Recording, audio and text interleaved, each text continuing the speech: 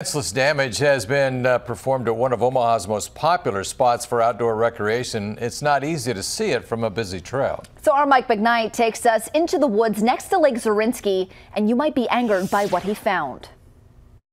Trees are a wood picture frame around Lake Zorinsky, and a section has been chipped by vandalism. If you're out here enjoying the, the beauty, I don't think you would want to destroy it.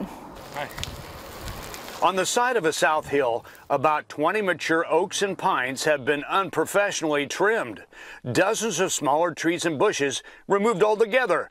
In a swath about 50 yards wide, branches have been broken off and trunks indiscriminately sliced, leaving deep scars on some trees growing on public land. To call this a hack job might be an understatement. This tree gnawed at and there are teeth marks, but not from the bite of any animal. These appear to be machine made. A machine like this is suspected of causing the tree damage, but it doesn't belong to any government agency. The U.S. Army Corps of Engineers tells me it's aware of illegal tree cutting at Zorinsky. The vegetation removal was not a sanctioned project by the city or the Corps. Yeah, people shouldn't be cutting trees with purpose out here, I guess if they're not authorized to. Omaha's Parks Director tells me the city investigation of this incident will continue to determine the right action. The Parks manager calls it vandalism at its worst. No, shouldn't be anybody touching those that I know of.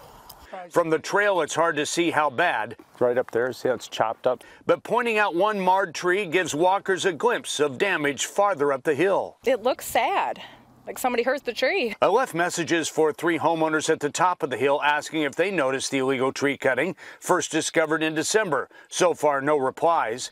Lake Zorinsky opened in 1993, so many of the trees around here are 30 years old. Those illegally gouged and poorly trimmed may survive, but the vandalism left a sad mark on a scenic public place. On your side at Lake Zorinsky, Mike McKnight, 6 News. Anyone with information on the tree vandalism is asked to call the Omaha Parks Department or the Army Corps of Engineers. Not only is the damage a city crime, but also a federal offense.